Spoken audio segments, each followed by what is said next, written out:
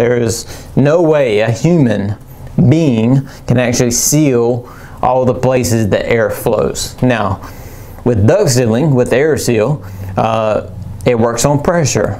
There is not, it's an aerosol. There's not a human being, you know, putting mastic and painting it on the joints. No, it's a machine.